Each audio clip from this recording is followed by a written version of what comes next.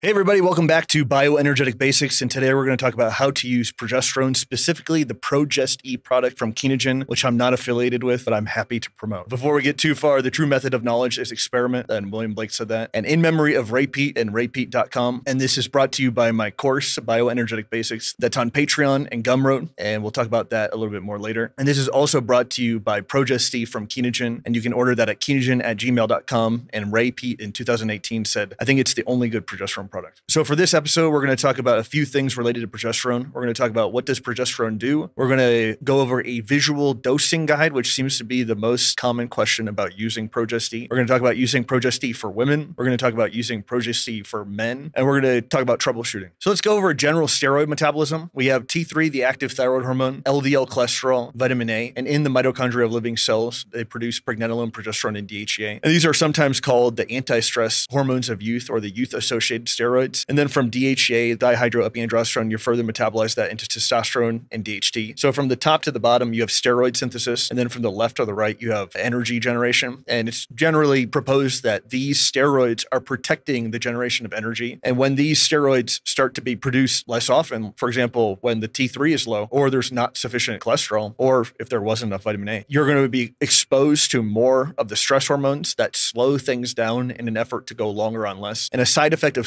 slowing things down from dominant stress hormones is that your cells, tissues, and organs are more susceptible to injury. So this is from Progesterone Summaries by Ray Peat in 2007. And Ray says progesterone is the most protective hormone the body produces. And the large amounts that are produced during pregnancy result from the developing baby's need for protection from the stressful environment. Normally, the brain contains a very high concentration of progesterone, reflecting its protective function for the most important organ. I'm a long way from fully understanding progesterone, but the first time I thought I made headway into understanding what Ray was talking about, why he thought it was so special, was when he referenced this paper from 1939. And the gist of this paper is that they adrenalectomized rats. So they took out their adrenal glands and they could live as long as they were dosed with progesterone. It kind of shows how progesterone is this buffer from stress. You don't need your classical stress systems, the hypothalamus, pituitary, and adrenals, if you have enough progesterone. And then when you stop producing the pregnenolone, progesterone, DHA, you have to rely on your adaptive stress systems. And these rats, when they were not given progesterone, they would just die immediately when exposed to a stress. But if they have enough progesterone, they could live indefinitely. So here's another quote from Ray talking about the opposition of progesterone to estrogen and basically that they're extreme opposites. And he says the effects of estrogen and progesterone are systemically opposed to each other. Estrogen excites, progesterone calms. Estrogen cools, progesterone heats. Estrogen increases nitric oxide, progesterone lowers it. And then I included this photo. This is the textbook of endocrinology, 1947 by Hans Selye. And I was so proud of myself because Ray had mentioned this photo and I had found it. It's a rat Hans Selye and his group tried to kill. And I think they gave the rat the equivalent of 10,000 milligrams for a 150 pound person. And they could not kill the rats. Hans Selye's students thought they had killed the rats. So they threw them in the trash. And then the next day, Hans Selye came in and he found that they were still alive. They were just profoundly relaxed. So we talked about the general anti stress effects that progesterone has. But on a high level, I think progesterone is ordering the water of the cell. And so this is from another email. And Ray said, I think cells, when they are stimulated, and active have their water in a disordered state, similar to ordinary water. But when they are in the resting state and able to attend to their own structure, getting ready to be able to function optimally, their water is absorbed into their proteinaceous substance. Progesterone and ATP are two of the molecules that help to stabilize that orderly system of proteins and associated water. Estrogen and the inorganic phosphate and ADP that appear when ATP is hydrolyzed shift the balance in cells in the opposite direction, favoring the release of water from the proteins and the activation of the cells. If a person really wanted to get into this, I would probably recommend buying the book Cells, Gels, and the Engines of Life by Gerald Pollack. And he has really nice drawings of what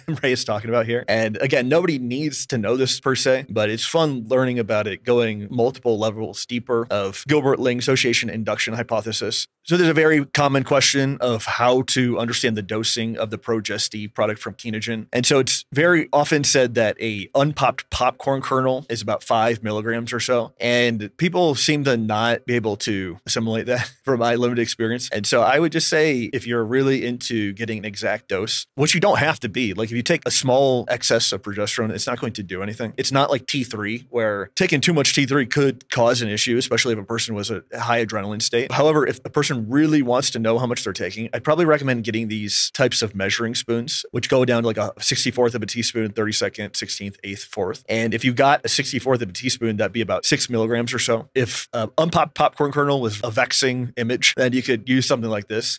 Let's talk about Progest for women. And so this is also from Ray's article, Progesterone Summaries in 2007. He says, for PMS, the normal pattern of progesterone secretion during the month is for the ovaries to produce a large amount in the second two weeks of the menstrual cycle, i.e., day 14 through 28, beginning at ovulation and ending around the beginning of menstruation, and then to produce little for the following two weeks. An average person produces about 30 milligrams daily during the second two weeks. And now on to postmenopause, he says some women continue the cyclic use of progesterone after menopause, but some women prefer to use progesterone without interruption after menopause for its protective anti stress effects. Slender people usually find two or three drops are enough, but this amount may be repeated once or twice as needed to relieve symptoms. So, just to wrap this up, if a woman is cycling, Progest is supposed to be used post ovulation, days 14 roughly through 28. Sometimes a person will say, Hey, I feel so good. I just need to continually use it. And this is a woman that would be cycling. And from what I understand and from what we talked about with Ray, the liver would get used to the progesterone and it would become become less effective. In fact, I was talking to somebody that was having pretty serious symptoms and they told me they were using it consistently. They weren't cycling it. And I didn't think much of it. And then that person had talked to Ray. And the next time I talked to that girl, she told me that Ray had told her that she definitely should cycle it. Postmenopause is different. I think it can be used indefinitely. And I've heard of women cycling it two weeks on and two weeks off. And my friend Dodie, who has more experience with this than I do, uh, she, I think, uses it three weeks on and one week off. So there's room to play around with this. And uh, I think it will take some trial and error. So let's talk about using Progest for men. Progesterone is the hormone of femininity. It is the female hormone. I think men can take advantage of it. We apparently produce 12 or 15 milligrams of progesterone per day. And Ray says after the age of 35 or 40, many men experience decline in their resistance to stress, corresponding to the decline in the protective substances such as DHEA and progesterone. Often a small amount of progesterone, five or six milligrams, for example, a drop of Progest the size of an unpopped kernel of popcorn, can make a difference, sometimes lasting for a few days or more. Paying close attention, the effects are usually noticeable within half an hour. At a certain level, progesterone can antagonize the effects of testosterone. In younger men, two or three drops can have that effect. So I think it's important for any guy using this to understand that it can post testosterone. And you can even find an old video of me saying that I didn't think men should use Progest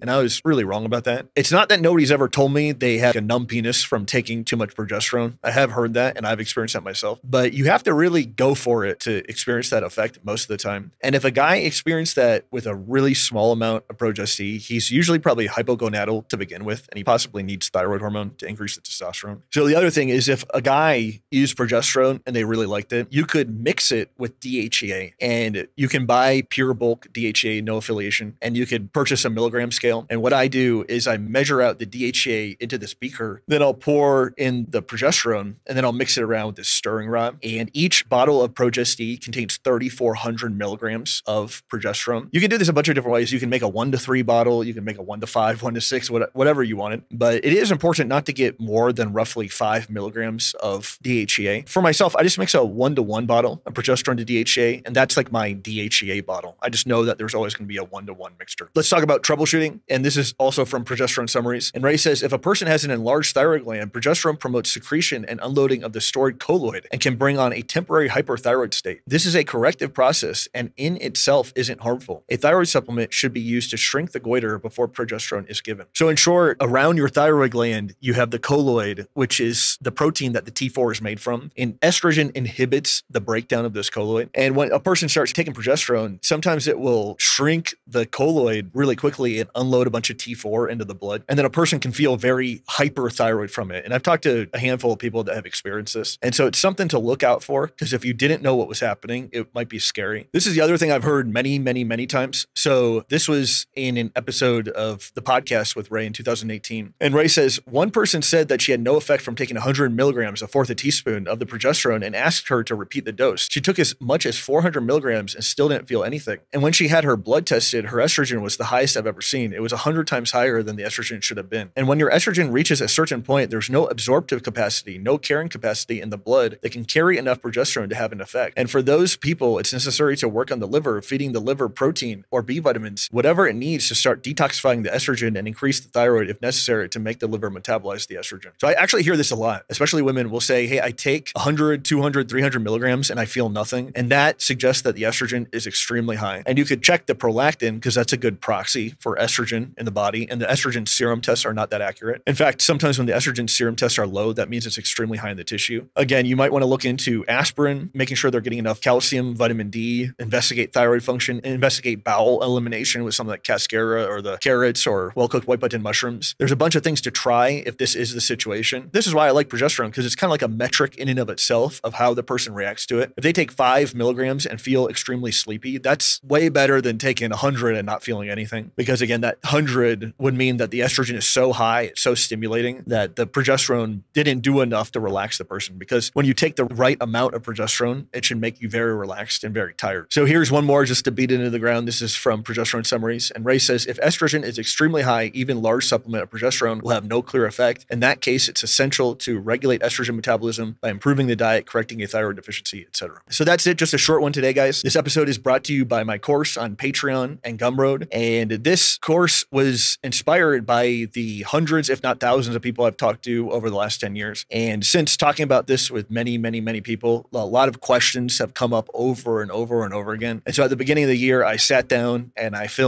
for many hours trying to put this together. And it goes over thyroid hormone supplementation, it goes over nutrition, it goes over a home environment, it goes over interpreting lab tests, it goes over supplementation. And those were all the areas that people commonly wanted to talk to me about. I actually think this is probably better than talking to me because you can stop it and rewind it and have it indefinitely to, to reference. I love talking to people, but sometimes it's information overload. And so this is just honestly probably better because if you're just getting into this stuff and you want to apply these ideas, this is why I made this. So a person doesn't have to feel information overload and they can stop it and take notes and do whatever they need to do. This episode is also brought to you by Kenogen's Progest-E, and you can email Catherine at kenogen at gmail.com. Ray in 2018 said, I think it's the only good progesterone product. I don't have an affiliation with Progest-E, but I love recommending the product and will continue to do that indefinitely. Okay, that's it, guys. Thank you so much. Really appreciate you. I have an amazing audience. Guys, take care. Talk to you soon, and peace out.